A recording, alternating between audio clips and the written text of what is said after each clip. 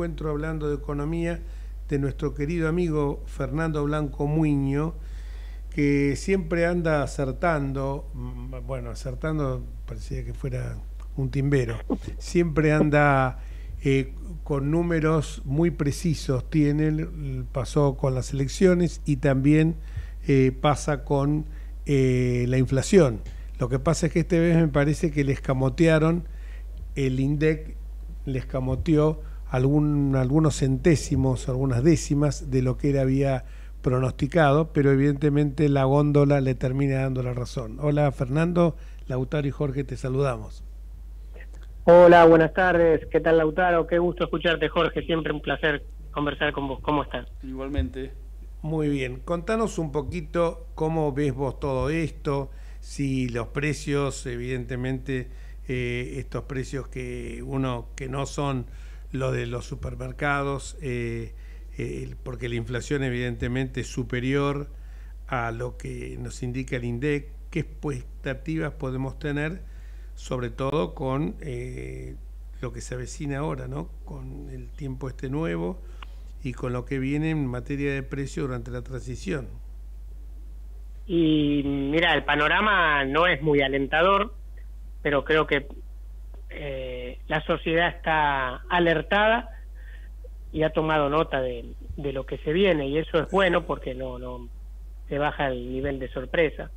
Eh, venimos de una campaña electoral donde el ministro de Economía era el candidato oficialista y todas las variables de la economía en materia de precios han sido tocadas en función de la campaña electoral congelamientos de tarifas, diferimiento de aumentos, em, programas de alimentos con autorización de, aumentos por debajo, muy por debajo de la inflación todos los meses, con lo cual ese panorama que tenía una clarísima intención electoral, como era de suponer, pasó la elección y empieza a abrirse.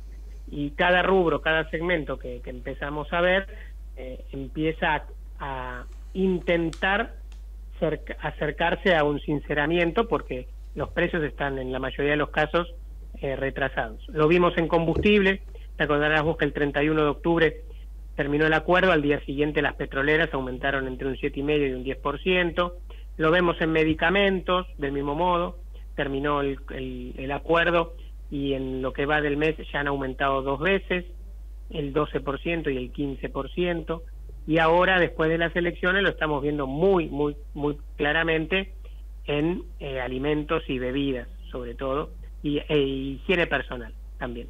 Con lo cual es un proceso quizás más acentuado que en otras transiciones la que se vivió con la salida de Kisilov y la llegada del presidente Macri en su momento o la, propia salida del gobierno del presidente Macri con la llegada de Alberto Fernández.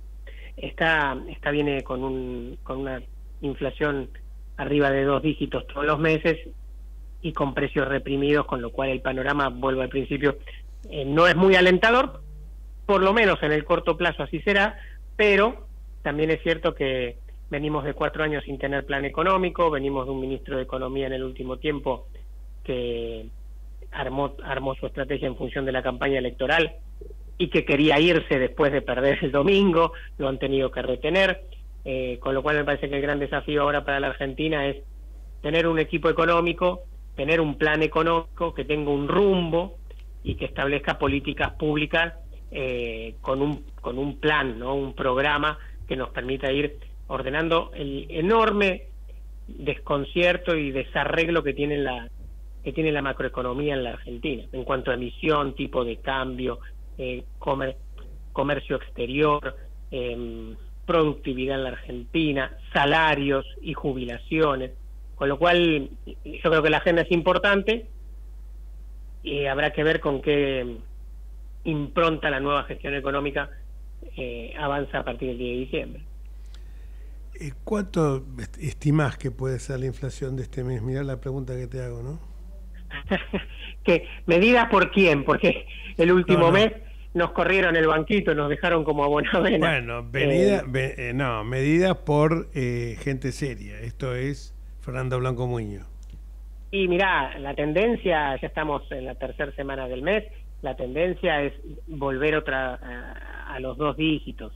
eh, hay impactos muy fuertes este mes como carne. El gobierno pasó por bajo del radar, pero el gobierno después de la elección ha hecho una pequeña devaluación porque ha modificado uh, para, el, para el régimen exportador la liquidación de divisas, que era 70-30, pasó a 50-50, con lo cual ahí tenés un 20% de una devaluación encubierta para un sector de la economía que después se traslada a precios. Y lo que estamos viendo esta semana después de, del, del balotaje es que eh, entramos en el terreno del por si acaso, ¿no? Eh, puntos de venta que no venden, a veces porque no tienen, otras veces porque, porque guardan, eh, mayoristas que hacen lo mismo, eh, proveedores que suspenden los pedidos que habían recibido de compra y los difieren para una nueva lista de precios, ofertas que desaparecen y que no hay intención de, volver a ponerlas en vigencia, con lo cual yo creo que el panorama para esta semana, para este mes de noviembre va a ser de una inflación alta, que se va a continuar en diciembre, que históricamente es un mes de inflación más alta, fin de año, las compras navideñas, las juntadas de la familia, con lo cual eh, creo que tenemos un fin de año caliente en materia de inflación, un verano que también lo va a ser. Piensen ustedes que eh, todo el plan platita del ministro Massa eh, va a empezar a impactar en, las mediciones de inflación a partir de enero, febrero, con lo cual vamos a tener un primer semestre complicado. Veremos a partir del 10 de diciembre cuáles son las políticas que implementa el nuevo gobierno con su nuevo tipo económico para empezar a bajarla. Con el tema de las importaciones, ¿cómo estamos? Uf, Uf. otra otra bomba de tiempo, claro. otra bomba de tiempo. Siempre se habla de la bomba de la LELIC. Yo te diría, Jorge, que el, el comercio exterior argentino es otra bomba de tiempo. Eh, tenemos un pasivo de casi 35 mil millones de dólares. Esto es, importadores argentinos que le han comprado a sus clientes en el extranjero, esos proveedores les han mandado la mercadería del extranjero y no y todavía no se les no se le pagó. Esa bola de dinero son 35 mil millones de dólares. 35 mil. Sí, que en forma aviesa este gobierno ha dejado crecer, porque desde que Massa es ministro, todos los plazos de pago de las importaciones han sido estirados en el tiempo Seis para meses, que caigan los vencimientos después del 10 de diciembre. Con lo cual, cualquier gobierno que hubiera ganado, a partir del 10 de diciembre, tenía esta bomba de por medio que es tener que salir a cumplirle a los proveedores extranjeros, que son los que mandan mercadería y que son los que también hacen funcionar muchos sectores de nuestra economía. Al día de hoy tenemos plantas automotrices que están parando porque no tienen insumos, por ejemplo. Entonces, este impacto eh, tiene que ver con el comercio exterior. Por eso lo pongo como un tema muy importante. Importaciones y exportaciones, que está, cada sector tiene un dólar propio, eso es inviable. El dólar soja, el dólar Malbec, el dólar aceitunas, el dólar economías regionales, no va. Una economía no se maneja así. Hemos llegado hasta acá, en el medio de la campaña electoral, terminada la campaña electoral, Argentina necesita un poco de normalidad.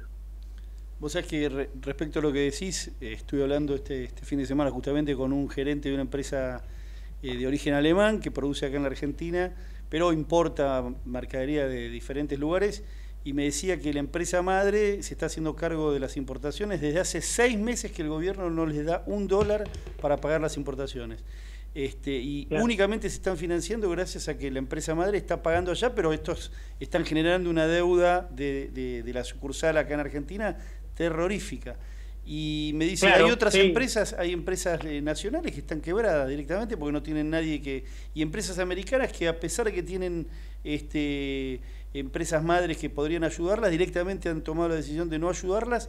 Y próximamente me dice, va a haber eh, anuncios de plantas cerrando eh, muy importantes de empresas americanas que directamente se van a ir del país. Pero eso es ahora, ¿eh? ya, está, me lo están anunciando en, en estos días. Sí, esperemos que no se vayan del país. Yo creo que esto que estaba diciendo Jorge antes de hacer la nota en relación a IPF es un, una muestra de lo que significa la confianza y ciertas condiciones de certidumbre en, y cómo IPF solo solo instalando una noticia y designando una persona idónea para estar a cargo de la empresa se capitalizó en dos mil millones de dólares.